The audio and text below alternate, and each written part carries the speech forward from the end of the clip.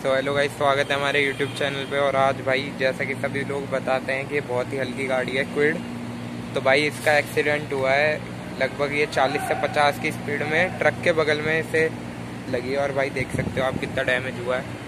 मतलब कोई भी भाई, इतना ही हल्का डैमेज हुआ है चालीस की स्पीड में गाड़ी में, और ड्राइवर वगैरह किसी को कोई दिक्कत नहीं आई है, यहाँ पे देख सकते हो। सब कुछ बहुत ही बढ़िया तरीके से गाड़ी में है, और इसकी चेसिस भी पूरी की पूरी बच गई है। बस ये पार्ट्स हट चुके हैं और ये रिम वगैरह थोड़ी टेढ़ी हो चुकी है।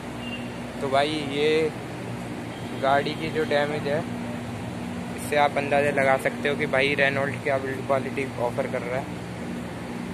ये हल्का फुल्का बोनट एडजस्ट हो जाएगा और ये हट जाएगा। पर इतनी स्पीड पे भी वहाँ तक इम्पैक्ट नहीं गया है भाई और चेसिस भी बिल्कुल सेफ़ है। इस वजह से भाई पूरा भरोसा हो रहा है कि हमारी काइगर भी चार स्टार ला सकते हैं, क्योंकि बहुत क्विड को जो इतना हल्का बताते हैं, भाई वो इतना इम्पैक्ट झेल सकता है। अगर यहीं पे कोई मारुति की गाड़ी होती तो भाई शायद वो अंदर चले जाता और भाई यहाँ को पैसेंजर को बहुत ज़्यादा डैमेज हो सकता था। पर ये 40 की स्पीड में भी बहुत अच्छा इसने गाड़ी ने काम करा है। तो भाई अगर वीडियो आपको पसंद आई हो तो आप चैनल को सब्सक्राइब कर सकते हो।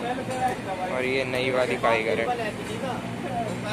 है सॉरी ये बना हुआ है वो